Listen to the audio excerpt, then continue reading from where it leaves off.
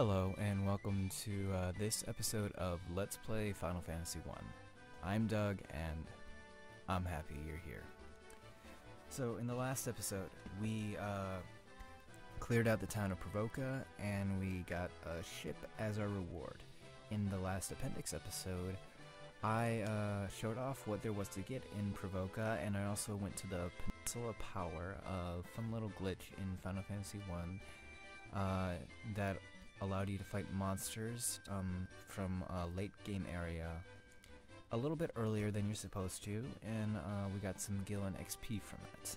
So, uh, fun little story. Uh, my audio and video was saved from that, but unfortunately, I forgot to save my game.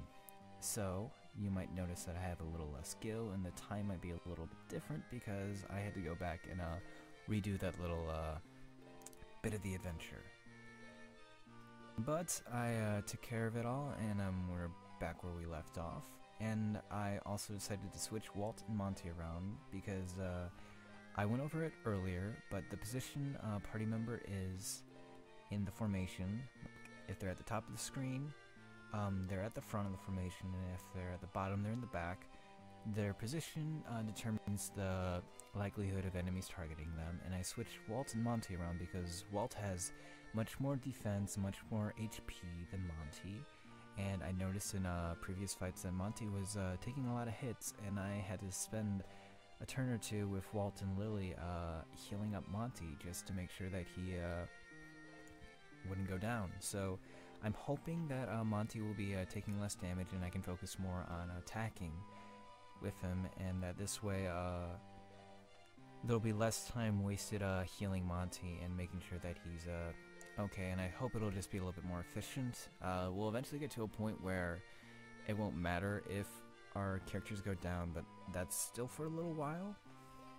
But anyways, in this episode, I'll be uh, showing off the ship, showing off a fun little mini game on it and I'll also be uh, showing off the next area that we need to go to in our little quest, the uh, town of Elfheim.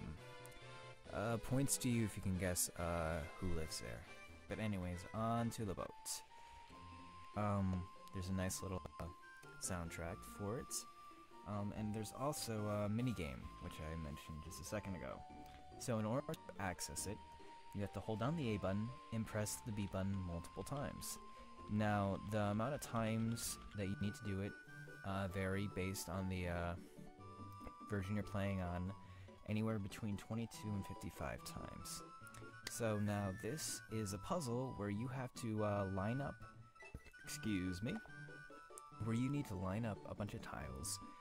Uh, the numbers ranging from 1 to 15 on a 4x4 grid.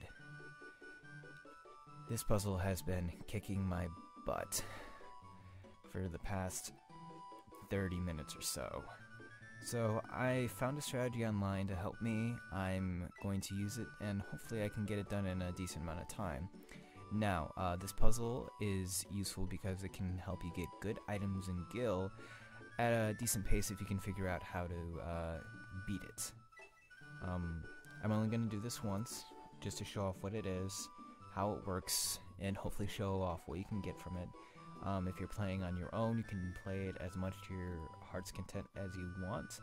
Uh, me personally, I'm just going to, like I said, play it once, hopefully get it done, and uh, get going, but I'm not, uh, I'm going to try to beat this. If it seems like it's taking up too much time, I'm probably going to quit, uh, just so I can show off a little bit more, and maybe I'll come back to it when I have a little more time. I uh, might save this for an appendix episode if I uh, feel like it's necessary, but let's uh, dive in.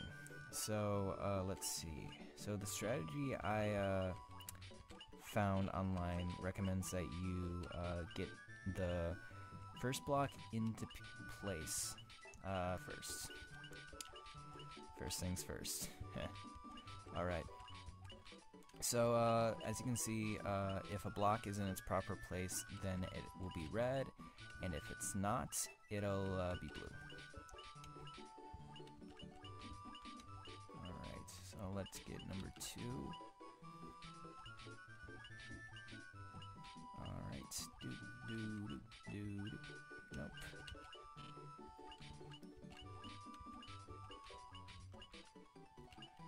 Alright. Alright, so... Hmm. Well, I'm actually uh, doing a little bit better than I uh, had been previously. Yeah, the uh, rewards for this are uh, based on time and com completion time. As you can see, it's timed up there in the corner. I'm going to uh, eventually uh, post what the completion times are. Um, probably in the description or on, as like a little box uh, up on the side. But uh, just know that uh, it's definitely one of those more practice-based uh, ones, I'd say. Alright, let's go. Yeah, there's a certain, like I said, there's kind of like this certain strategy to it that uh, I'm still trying to uh, learn. I think I got the general gist of it. So let's do this. Do, do, do, do, do. Alright. Do, do, do, do, do, do. Boom, there we go. Okay. I think I'm starting to get the hang of this. Yeah, so the idea is that you want to get the first three lined up perfectly, and then after that you want to get the following Okay. And you want to get, like, the third one in uh, the fourth position so you can... Hmm. Alright, yeah.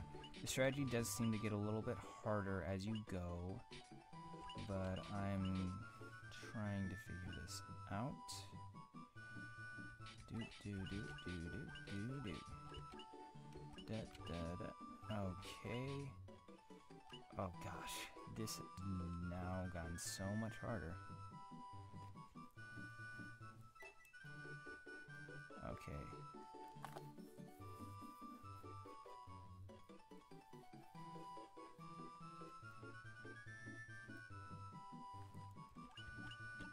Oop, nope. Come on, I'm so close to getting this. Alright, so da, da, da, da.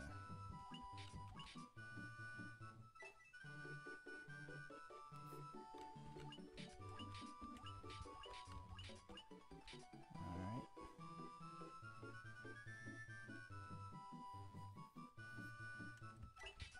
There we go.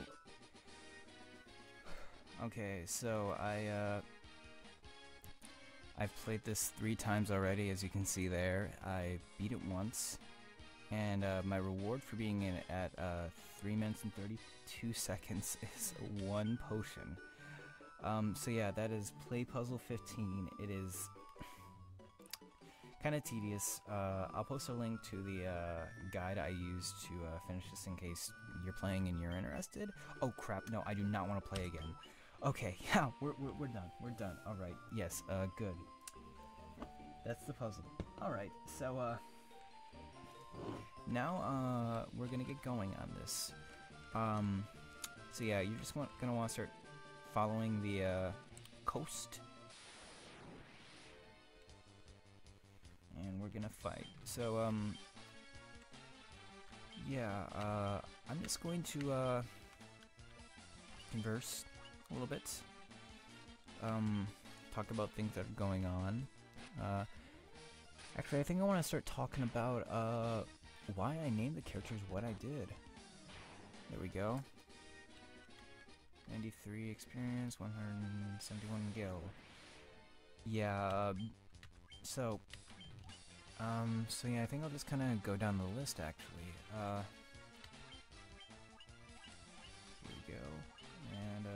just uh, cure whoever needs it, which is Lilith.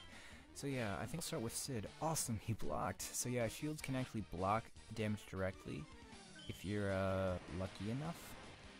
And okay, paralysis is uh, it paralyzes you, and I think you need to use an item which or healing ability which the name of which escapes me.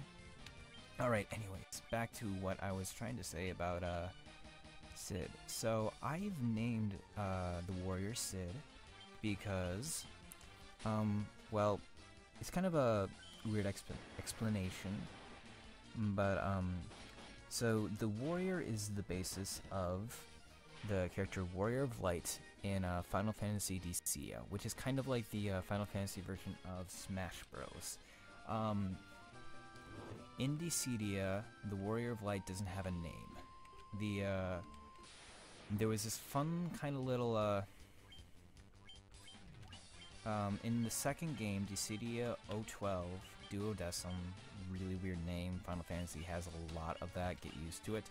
But uh, in Dissidia 012, the second game, there were like these uh, fun little uh, backstory report things that uh, were sprinkled throughout the game, and there were some cutscenes where, uh, excuse me, uh, the Warrior of Light, who uh, doesn't have a canon name and didn't have a name in Dissidia, uh, was uh, kind of questioned on it, and a character, Prishe from Final Fantasy XI, which is a MMO game, uh, says, uh, "Hey, I figured it out." I'm obviously paraphrasing right now, but she's like, "I have a name for you." And uh, there's a lot of speculation going on, like what his name was, and there's uh, no canon name for him. But the theory that I uh, subscribe to is that he was uh, named Cid, which a lot of people kind of picked up on because of some backstory elements that kind of implied that uh, he was uh, related to uh, the Cid of Final Fantasy One, who is alluded to at times in uh, this game. And I just like that idea. Like, I feel like Final Fantasy One, you know, should have a Cid because there's always a character named Cid in each Final Fantasy, except for Final Fantasy One, I believe.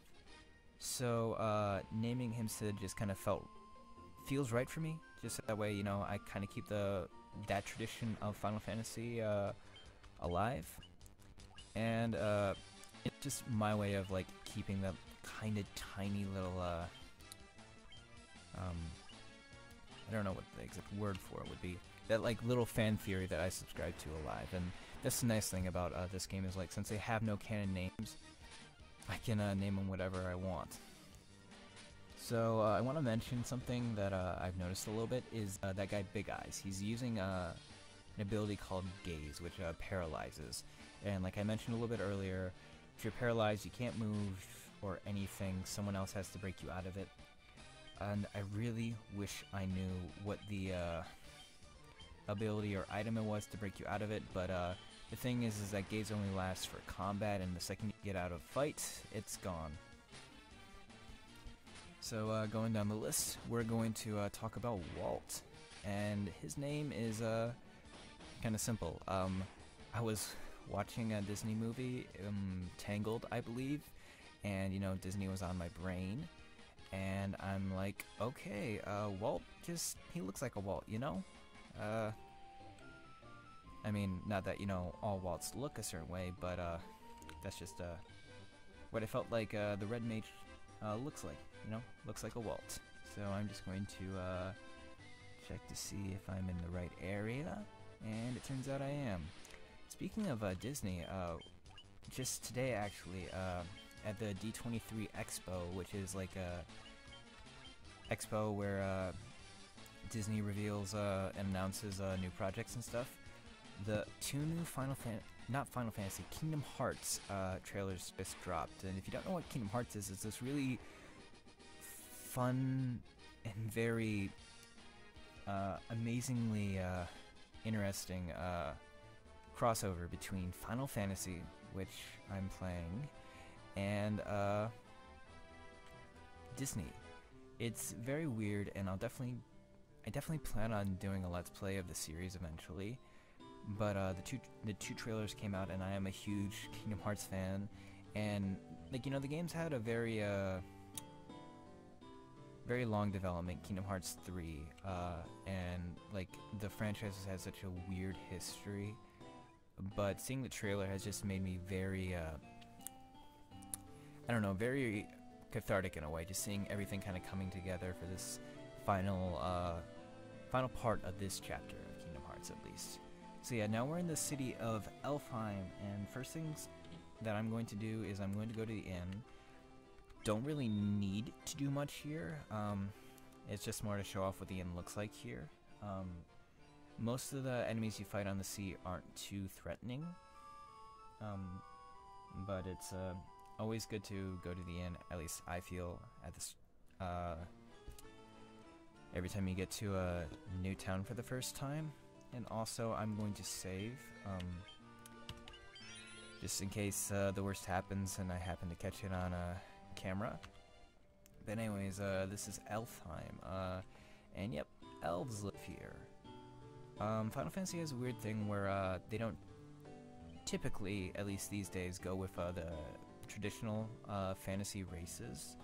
Um, like, you know, elves, dwarves, and stuff, and they kind of have their own spin on them, but uh, this Final Fantasy was based off of the first edition of uh, Dungeons and Dragons.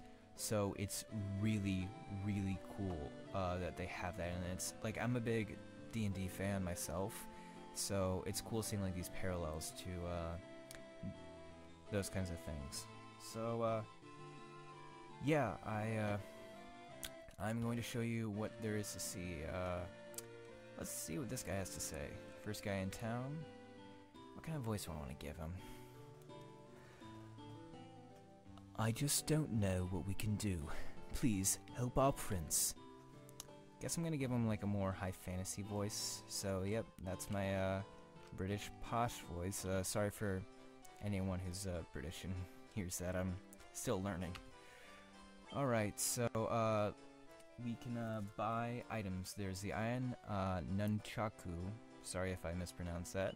The dagger, the Crosier, and the saber. Now, uh, none of those items are going to be any of uh, any use to us here. Um, sorry, I'm uh, reaching for a pen. So, uh, that's good. I get to, uh, cro- yeah, awesome. All right. Yeah, sorry, I was just double checking my notes. My notes. Wow, that was very weird. I'm sorry, I'm recording this at like 2.30 right now. So I'm a little tired and out of it. But yeah, so uh, as you can see, that none of those items were really useful to me, and uh, like I mentioned earlier, the monk doesn't need any uh, weapons, and equipping him with weapons will actually decrease his damage output. But let's take a look at the magic that's uh, offered here. So, um, the interesting thing about Elfheim is that there are two magical stores selling level 3 and level 4 magic uh, for both uh, white and uh, dark, uh, sorry, white and uh, black mages specifically. So the spells on hand are Fira, Hold, Thundara, and Focara. Uh, I'm going to be going with Fira, Hold, uh, Thundara, and uh, Focara, I believe.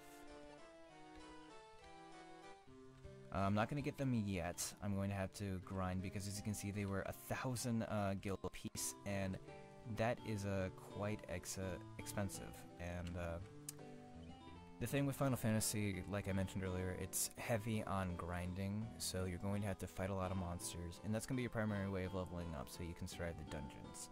Between uh, the grinding and uh, the items and experience you get, that's kind of how you uh, that's kind of how you survive the dungeons because the game gets really difficult in the mid game, but then after that you kind of uh, reach a point where you, if you're fighting almost every enemy you come across, you're going to uh, be able to handle what the game throws at you until you get to uh, until you beat the game. And then after that, there's some nice, uh, nice post-main story content that you can do that really kind of pushes you to your limit. Anyways, let's see what this uh, person has to say. I can't tell if they're a guy or a girl, so uh,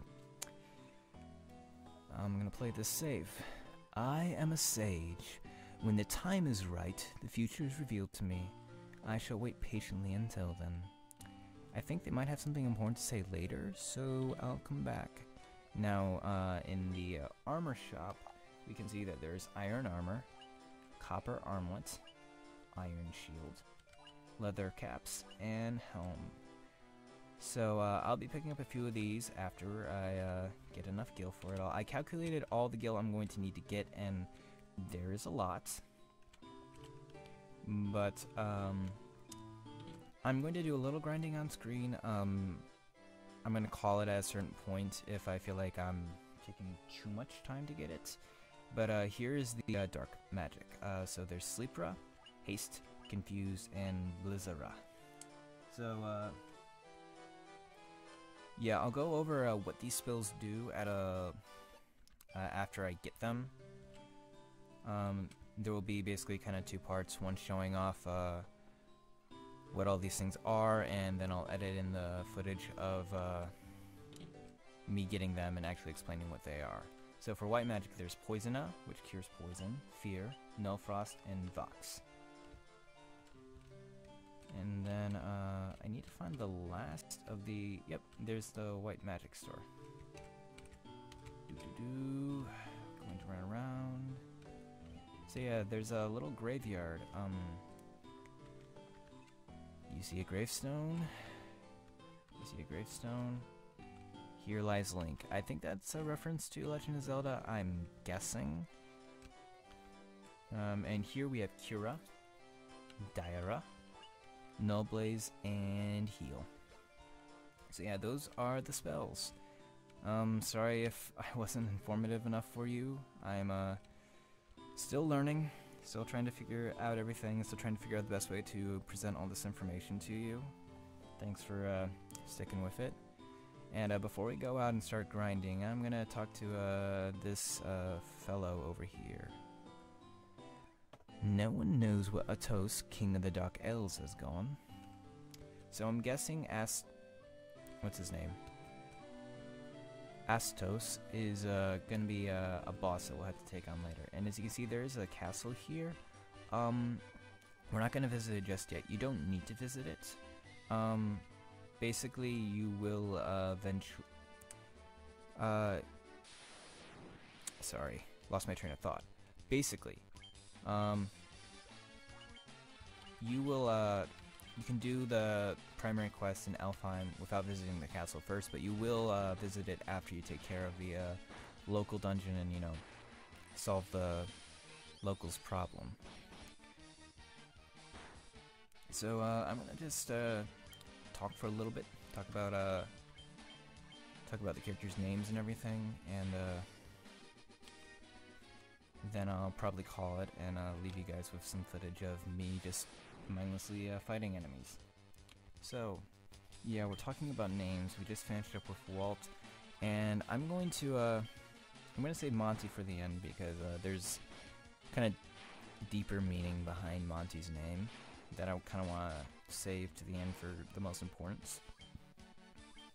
But, uh, Lily, I uh, named because um, when I first started this playthrough, I was uh, playing Pokemon Ultra Sun and Ultra Moon, and uh, if you've played that game, you know that uh, the character Lillie is an important character, and uh, she has blonde hair and has an outfit primarily made of white, and I just kind of connected the two, and since I was put on the spot with naming, because I did not plan this out beforehand, I uh, just went with Lily because that's a girl's name, and I think the White Mage is a girl. There's been a lot of debate about this over the years since the game is like 30 years old at this point. And you know, it's entirely up to uh, your personal interpretation. Like any of these characters could be a male or female based on uh, what you want, I guess. So, uh, but yeah, I decided that uh, the White Mage in this game was gonna be a girl, and that the name would be Lily because it's a nice little shout out to Pokemon. You know, I have a shout out to Final Fantasy, to Disney, to Pokemon, and you know, three of my favorite games. And then there's Monty. Now, uh, I uh, really didn't uh, realize the connection at first. I just went with Monty the Monk because it's alliteration and it's cute. But um, Monty was in my head primarily because of sorry, the topic's a little heavy, but because I was thinking about uh, Monte Oum. Uh, Monte Oum was a animator at uh, Rooster Teeth, uh, web-based uh, entertainment company. Um, if you're not familiar with their work, they are fantastic. They make so much good content. They're hilarious. Kind of not safe for work, but uh, it's a little bit aside the point. But anyways, uh, Monte Monty uh, passed away three years ago from a medical coma, and it kind of hit me hard. He was uh, one of the first uh, entertainers that I grew up following that passed away, and just kind of like on the online creative community, a lot of people were deeply affected by it. I I didn't know Monty personally. I but Monty was just such a creative force, and the thing that I really connected to and still connect to about Rooster Teeth is that everything that they like. If you don't know, Rooster Teeth got started just by couple guys making a video, a machinima out of Halo, mm, and it's just pure creativity coming from non-professional source. And Rooster Teeth and Monty created professional work, but there's just something that's always been so unconventional about the way they've done things, and Monty has always been a source of inspiration for me because I'm not an animator, not really an artist in the traditional sense, but I love entertaining, and I was always entertained by Monty's work and his friends at Rooster Teeth every year around the time of Monty's passing, which coincidentally was uh, 10 days ago at the time of this recording. Uh, they always encourage people to be creative and to just go out and make something in honor of Monty and I've always wanted to make a let's play. Always wanted to share something that I love with people and only now have I finally gotten the tools necessary for me to do it and I just kind of realized that everything kind of falling together for me to do this, and if in doing this I can honor someone who had such a profound impact on my life and so many other people's lives, then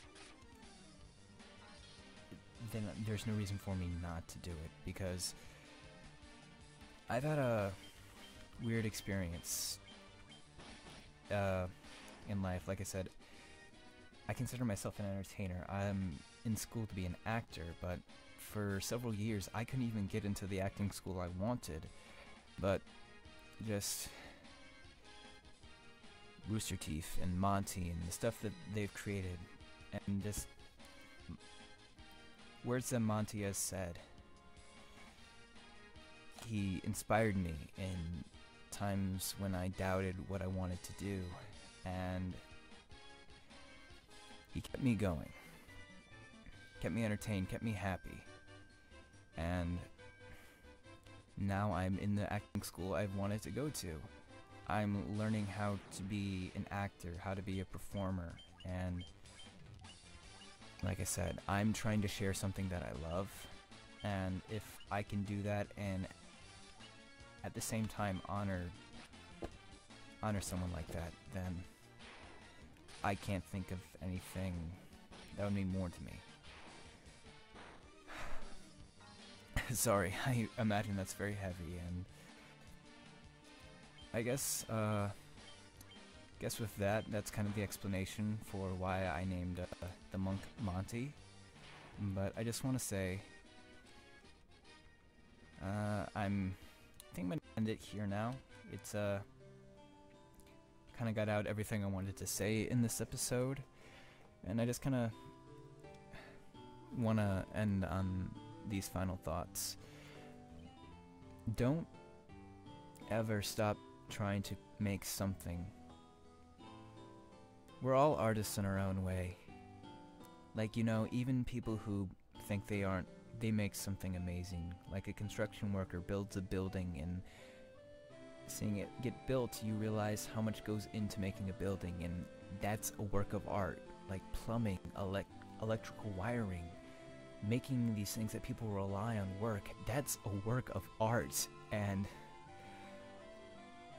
the more traditional artists, you know, the people who get up there on stage or who make a painting or make a video, that's art. The people who work in business who can figure out a way to make a company work together to sell a product to people, that's art. And you know, just going out there, talking with friends and family or strangers, just interacting with people and being with people who you enjoy and love, making memories, that's art. And, you know, the internet can make a lot of bad things happen, you know? It's very easy to be cruel and mean, but the internet is capable of also sharing so much good. I'm getting the chance to share something I love and enjoy, this game that came out 30 years ago, and I get to share this with people, and though I stumble through my words and I don't know what to say all the time, it is something I wouldn't trade, so just know that you can always create something and you're always making something, even when it feels like you don't. Even when it feels like you can't, you are. And just keep going because that thing you want, it's it's closer than you realize.